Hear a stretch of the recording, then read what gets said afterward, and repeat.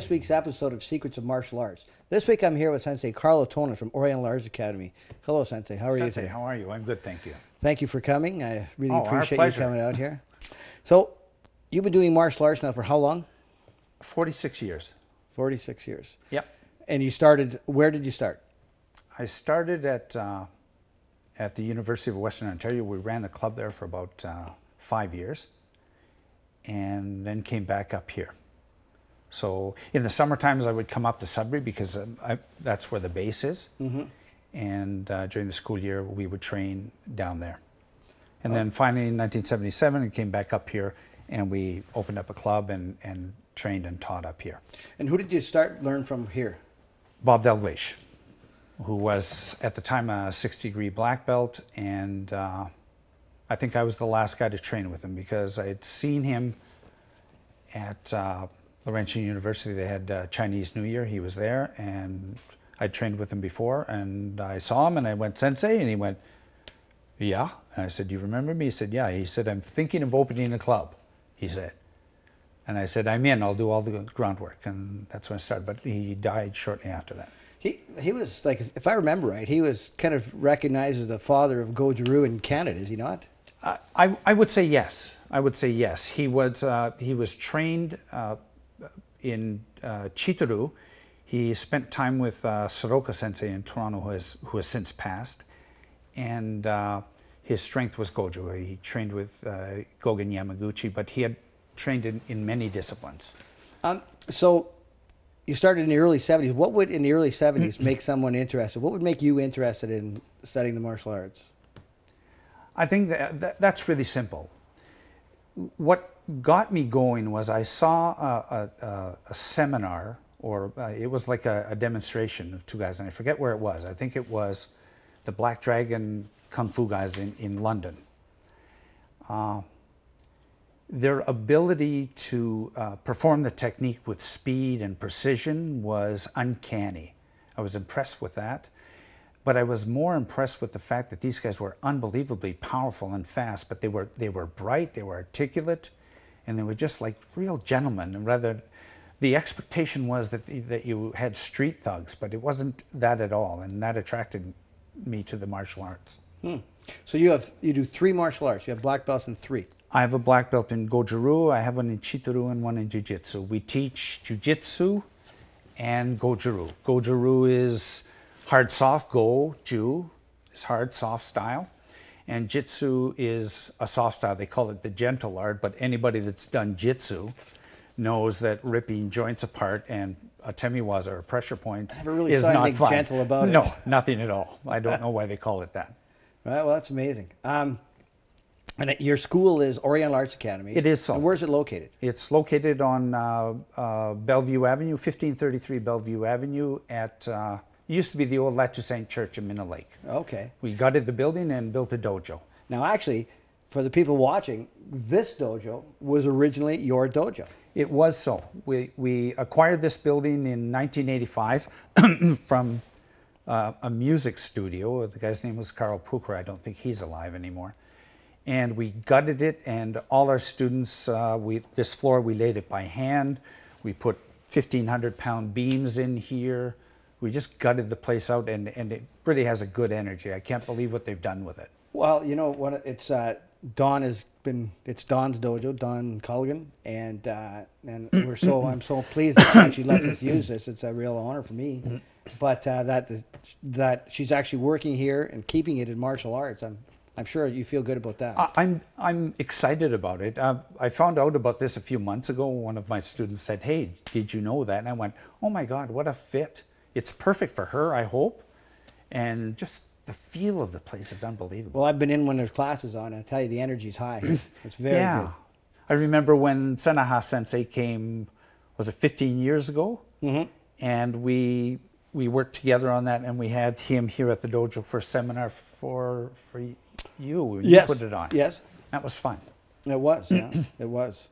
Um, so, how many students would you have training with you at this particular time? Uh, we don't have that many. I, we've, I would say, typically uh, under under 50. We used to have a lot more. We've lost a lot to the mixed martial arts, And uh, I think that's across the board. Traditional martial arts styles are uh, have been impacted by the new wave of uh, mixed martial arts. Actually, I I would have, I would most definitely agree with you on that one. It's when I first started myself, it was which is after you started. uh, you were already black belt when I started, but uh, um, there were only a few schools you could go to, with yours being one of them. Absolutely. When, when we started, when I when I was teaching at Western, Western was a large university, and it was it was really good because we had people from all over the world.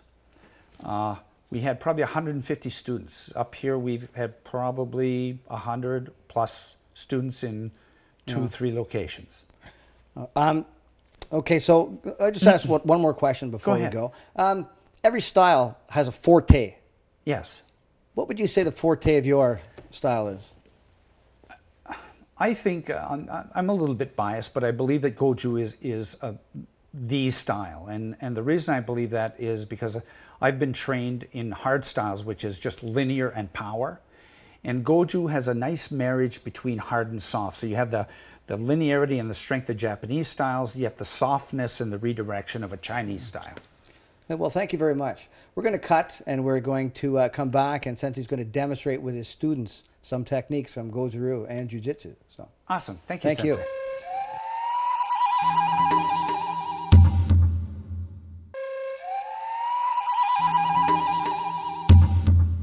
back with Carlo Tonon Sensei from Oriental Arts Academy. Uh, Sensei is going to demonstrate techniques from Goju Ryu Karate. Good. Sensei? Thank you, Sensei. Okay, you step back a bit, please. In our style, we have techniques. Okay, we'll start off with waza. Just do it slowly, please. We have these things called waza. They're basically techniques. They're prearranged patterns to develop timing, coordination, speed, skill, all the rest of the stuff. Okay, bow, re. Good. And proceed. Go. Just do it a few times, gentlemen.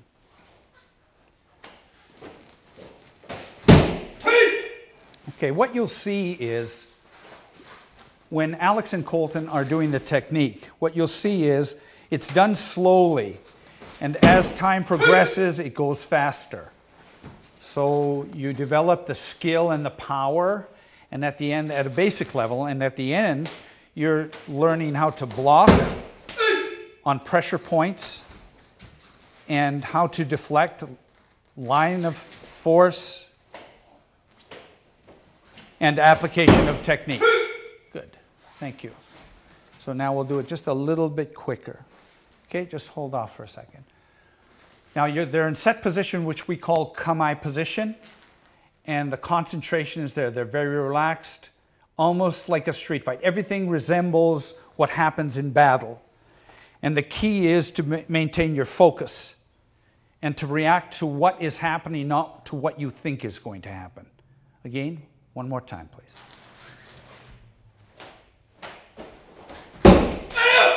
Good. And one final time.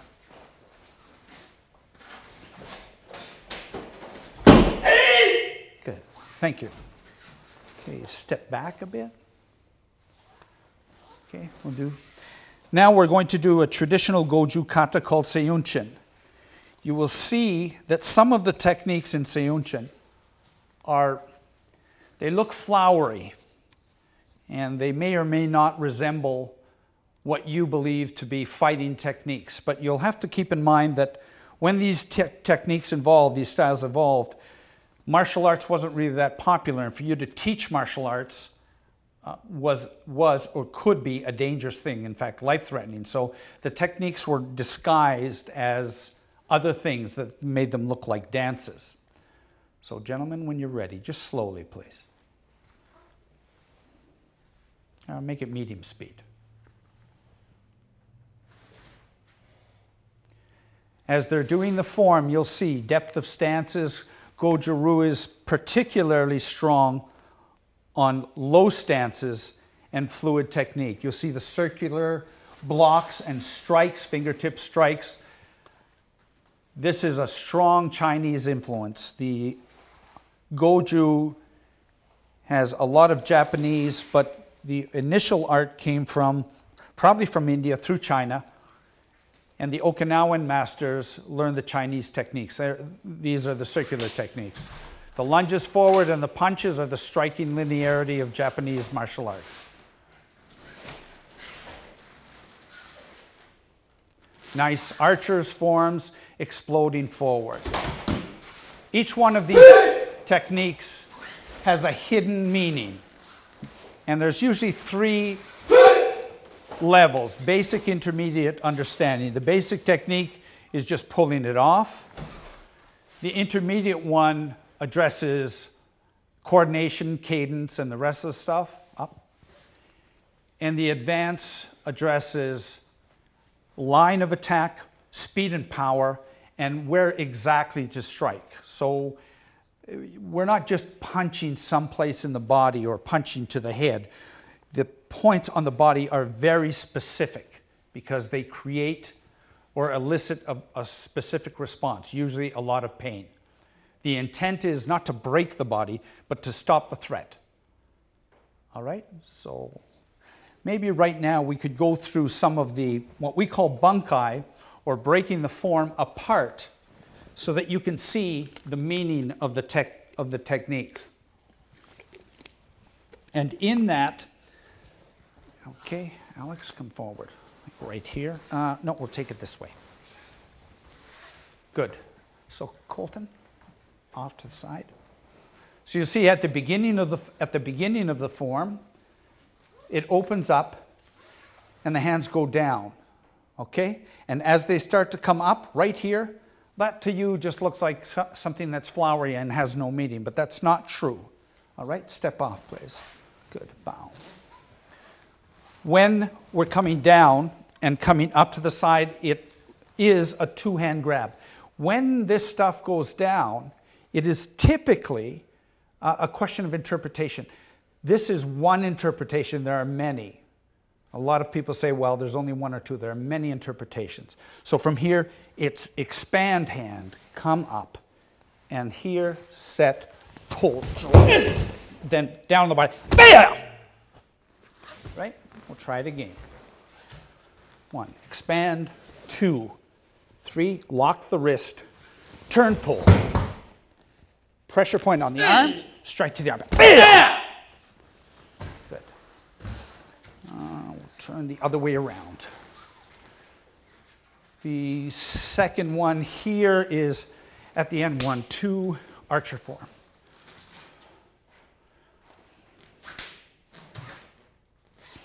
Okay, quickly go to it. Yeah.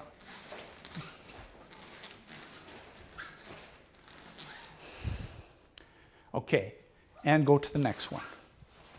Archer form here, it looks like something flowery. What it is is simply this punch comes in, you slip it, two defense mechanisms. You slip the technique, you pick it up here. You see the archer form here, you pick it up, and it's pull, strike to the groin, arm, lock. And you can control the arm here. Okay, go. One, same time. Boom. One. Did you wear a cup? I sense. Okay. All right. Did we have another one? Yes. So now, coming forward on the same technique. One, two. The one before this was, was a little more advanced. This is more, more of a basic technique. So, lined up, technique is coming in from here. I come in, strike, clear, and hit. So you hit forehead, subject to interpretation. You hit forehead, cheekbone, all certain pressure points. You're hitting, boom! Okay, back up. Here, one, striking, hitting pressure point here. One, boom, bang. Okay, good. Okay, back out in the kata. Both. Okay, do it again, one more time. How much time do we have? Okay.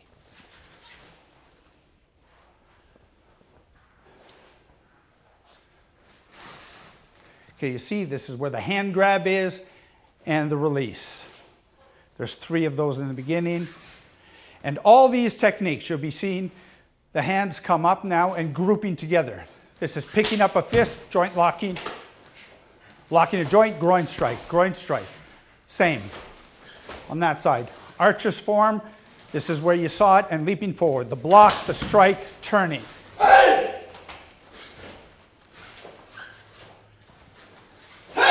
And you can see it requires coordination and strength. The more advanced you are, the more the expectation that the technique is clean and perfect. Mindset. At the end of the kata, you see the eyes going forward and Thank you very much, interpreting. Thank you. That was great, Sensei. When we come back, Sensei's going to be doing some more techniques of Goju-Ryu as well as some Kobudo or weaponry.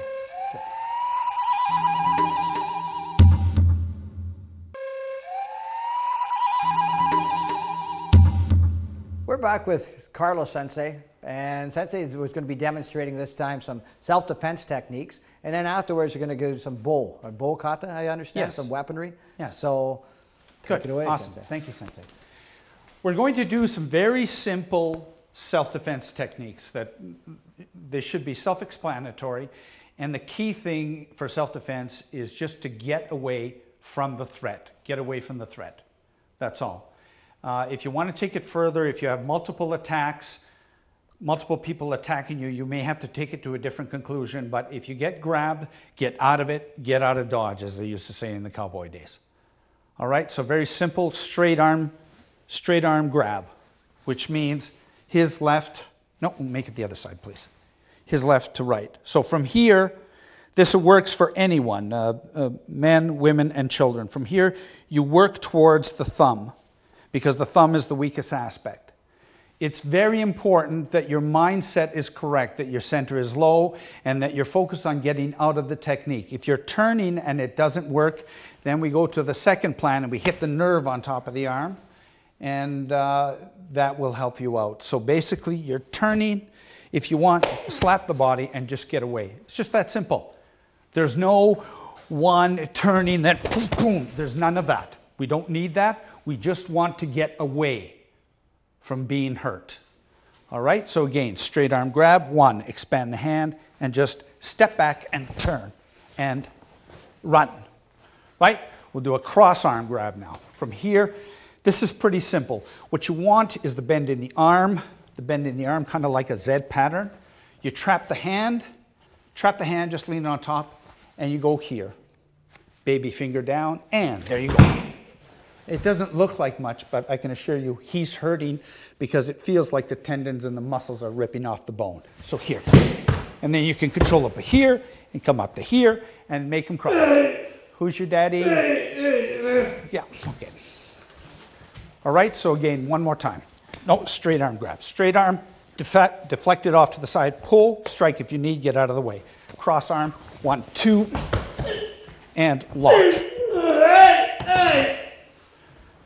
He's, pre- he's pretty loud. Eh? okay, we'll do uh, a choke. A choke from here, we'll take this side. Choking the body, simple technique is just coming over the top from here, locking him out. Self defense can't be complicated. It's not like we do this and do that. It's just simple. Get out of the way. So the grab again, one from here. If it's a choke, from here, you can slap and push him away, and then you get out of the way. If it's a grab on this side, from here, introduction, always good manners. Hip touch, and from here over. Okay? You don't need to do the final part. I'm just doing that to be fancy. But the key here is distract the brain. He's very strong and overpowering me. I can't. He's too strong. So take the brain away, take the hand over the top. Drag him down. Get up. Good. And where else are we? Okay. So now, what we're going to do, prepare the bowl, please. Sensei Obertang will be doing a traditional Okinawan bow kata. This bow kata is from the Matayoshi Kobudo, which is a style that is only weapons. It's been around for a few hundred years, and it's been passed down to us through through one of our students who lived in Okinawa for a few years. I don't know exactly how long. And he was taught by Gakiya sensei, who has now passed it on, but he took it from the main instructor's son from, to the main instructor, which started around the 1900. So it was like Shinko Matayoshi to Shimpo Matayoshi to Gakiya sensei, and taught to one of our senior black belts, Christian Gardner, and passed on to us. So this kata is quite old. Go ahead. The Matayoshi style is very different in the sense that it is only a weapon style. Most martial arts carry, they do open hand and then they have a weapons as a sideline. The Ma- Matayoshi style is weapons and they carry open hand on the side. It is very unique and very strong. You won't see powerful, you won't see flippy, fancy stuff. Linear, strong, and direct. Bokata are very tricky because traditionally you make a mistake and you're dead. It's just that simple. So the attention to detail is very important, is very important, and the line of attack is as well. One more time, please.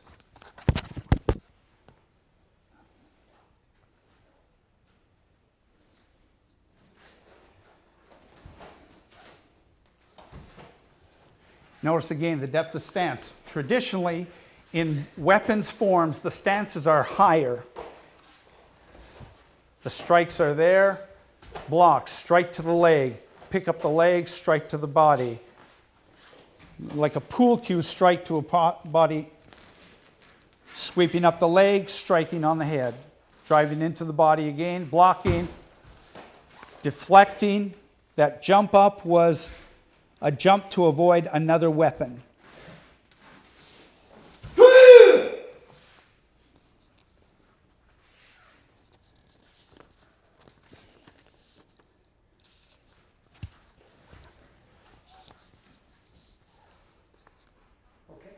So that completes us. Thank you very much. That was fantastic. So, Sensei, I would really like to take this chance to thank you and your students for My coming to pleasure. help us Thank out. you, Sensei. Thank we you so, much much. appreciate it to be So- part of this. I hope that you, uh, I hope that you enjoyed Secrets of the Martial Arts. This episode, um, Sensei's been doing it for an incredibly long time, and this was an amazing demonstration. Thank you. Would you uh, like to say Yeah, in- I anything in parting? or- I, I would like to say thank you to uh, Tom Orendorf for helping in the production. Just step off, come inside. For helping in the production, to Sensei Alex Obertain and Senpai uh, Colton Goebel. Alex is going to go for his third Dan this year. He's been with us for 20 years. Colton's been training for 11 years. I'd like to say at the end of the day that the martial arts has been a wonderful journey, right? It's available to all, but only a select few do it.